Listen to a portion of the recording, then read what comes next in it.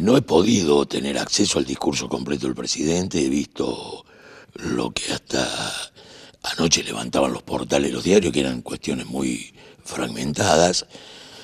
Eh, sí me parece que en el, en el fragmento en que habla de las universidades, que eso lo pude escuchar en un audio, eh, el presidente mantiene su misma metodología de hacer anuncios basándose en mentiras. Eh, yo no tengo conocimiento de que la planta, en lo que respecta fundamentalmente al sector nuestro, la planta no docente haya aumentado en día año el 30%, como él dice.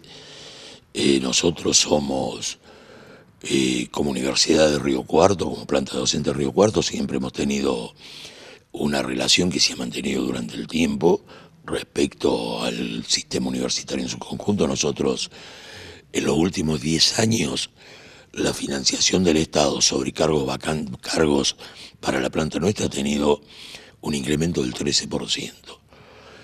Y el 30% que habla el presidente eh, lo hemos tenido del año 86 para acá, cuando éramos 440 cargos.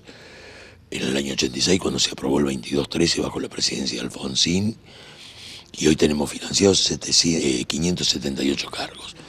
O sea, cualquiera puede hacer eh, la diferencia y darse cuenta que ese 30% que habla el presidente, en el caso de Río Cuarto, en los últimos 40 años. Y en los últimos 10 años, la relación es 578 sobre 508. Eso da un 13%. Eh, después me parece una, un análisis muy lineal ese de que habla de que la universidad aumentó su, aumentaron su cantidad en 30% y que la matrícula aumentó el 13%.